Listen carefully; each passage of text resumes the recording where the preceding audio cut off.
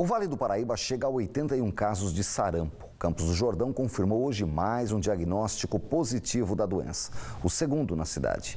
A paciente é uma mulher de 49 anos que já está recuperada. E o Hemonúcleo de Taubaté faz uma chamada especial para a doação de sangue. A preocupação é com o feriado da padroeira, em 12 de outubro, quando aumenta a quantidade de turistas na região. Antes disso, tem o feriado do padroeiro de Taubaté, data que vai fechar o serviço na sexta-feira, dia 4 de outubro, e no sábado, dia 5. Então aí, a importância para se programar para ajudar. Veja. Valdir doa sangue desde que serviu o Exército há 12 anos. Já participou também de várias campanhas para ajudar amigos. Eu acho que é um gesto humanitário, solidariedade, né? É amor ao próximo. Uh, e eu, eu acredito assim que é uma coisa que dura tão pouco tempo, mas que com certeza salva muitas vidas. A primeira doação de Michele foi em 2009. Ficou alguns anos sem doar, até que a mãe adoeceu e precisou de sangue para fazer a cirurgia do coração. Sempre que eu posso, eu venho até o hemonúcleo e faço doação. E quando você sai daqui, você se sente como?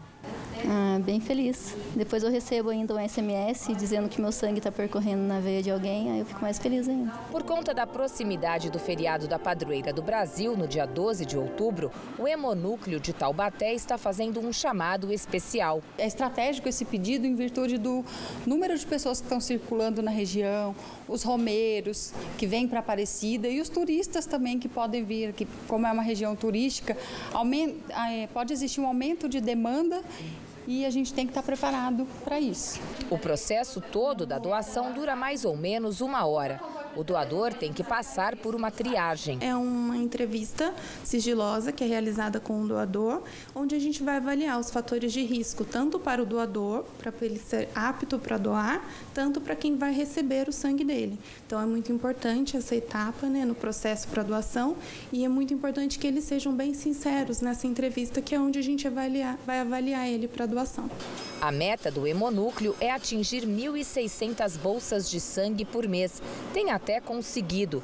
Em média, passam por aqui 60 pessoas por dia, mas nem todas passam na triagem. Por isso, as doações sempre são necessárias. Para doar, é preciso levar um documento de identificação e, principalmente, estar bem de saúde. Pode doar pessoas de 16 a 69 anos, sendo que menores de 18 têm que vir acompanhado do pai, da mãe ou um tutor legal. E pessoas acima de 60 já têm que ter doado alguma vez na vida. É, pessoas que sejam bem de saúde, se estiver fazendo uso de medicamento, é importante informar é, alguns medicamentos podem pedir a doação. Quem tomou vacina também é importante é, informar que tem um período, né, determinadas vacinas podem pedir a doação durante um determinado período. E o básico seria isso. E olha, uma das principais necessidades é o sangue O negativo. As doações podem ser agendadas. O telefone está aí no seu vídeo, é o 0800 979 6049. E o Band Cidade volta já já. Depois do intervalo tem a previsão do tempo.